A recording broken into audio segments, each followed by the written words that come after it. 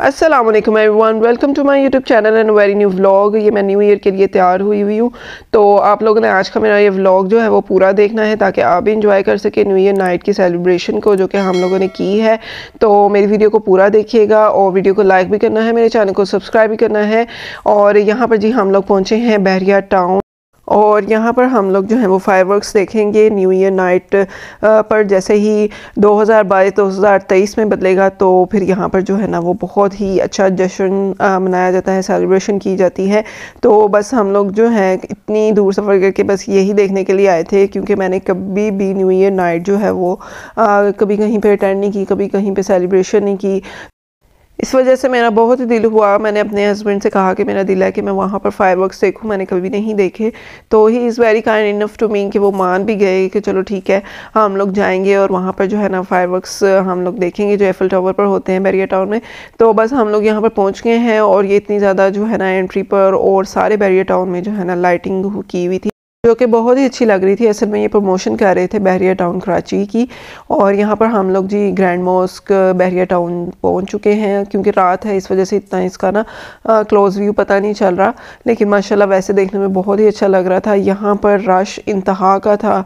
और बहुत ज़्यादा जो है ना ट्रैफ़िक भी जाम हुई हुई थी और यंगस्टर थे, वो बहुत ज़्यादा थे। हम लोगों को इतना रश का अंदाज़ा नहीं था। इतना पता था कि रश होगा, लेकिन इतना ज़्यादा रश होगा, ये अंदाज़ा नहीं था।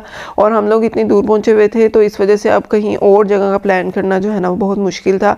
बस हम लोग फिर काफ़ी जो बीच में रास्ता था, वो हम लोगों ने पैदल ही तय किया और यहाँ पर बस हम लोग अब पहुँच ही चुके हैं एफल टावर और जैसे कि अभी आपको नज़र आ रही है गहमा गहमी यहाँ पर लोगों के पहुँचने की और ये स्ट्रगल जो है ना काफ़ी लोग जो है वो कर रहे थे।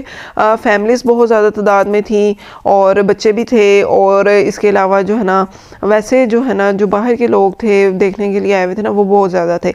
आ, मेरा जहाँ तक ख्याल है यहाँ पर इनको ना सिर्फ़ फैमिलीज़ को परमिशन देनी चाहिए फैमिली के बगैर लोगों को परमिशन नहीं देनी चाहिए। बड़ा हाल हम लोग यहाँ पर पहुँचे एक फैमिली यहाँ पर थी बहुत अच्छी थी हम लोग बस उसके पास ही खड़े थे और ये इनका बच्चा था और ये बस ऐसे ही हमारे साथ ना फ़न कर रहा था कह रहा था कि मेरे साथ खेलो। तो बस हम लोग यहाँ पर खड़े हुए हैं और कुछ ही देर में जो है ये सेलिब्रेशन जो है वो स्टार्ट हो जाएगी। तो आप लोगों ने जो है ना ये फायरवर्क्स की जो लास्ट में वीडियो मैंने ऐड की है, वो आप लोगों ने पूरी देखनी है। मेरे चैनल को सब्सक्राइब करना है वीडियो को लाइक करना है और कमेंट करके बताना है कि आप लोगों ने कभी ये अटेंड किया है और आप लोगों को अगर नहीं किया तो ये कैसा लगा। तो बस कुछ ही देर में यहाँ पर जी काउंटडाउन स्टार्ट हो जाना है। तो हम लोग जो है वो मिलकर देखेंगे। Three to and one